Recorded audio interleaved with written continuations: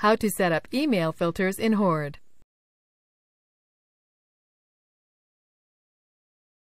This tutorial assumes you've already logged in to Horde Webmail. Now let's learn how to set up email filters. Click the Filters icon.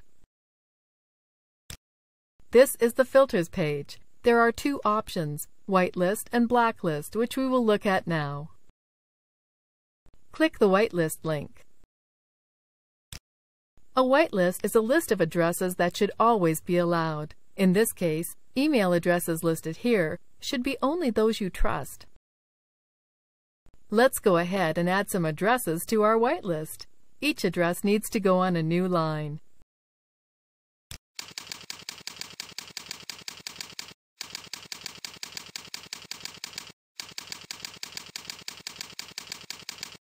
Click Save.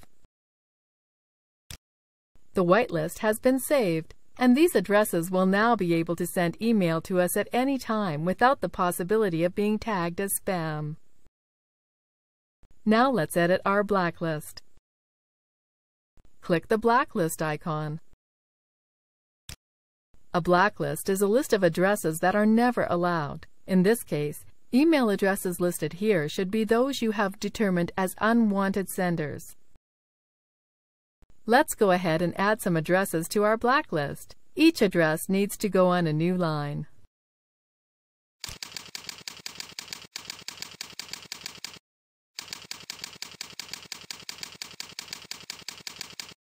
Click Save.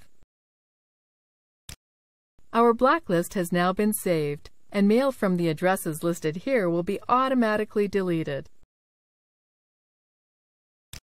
This is the end of the tutorial. You now know how to set up email filters in Horde.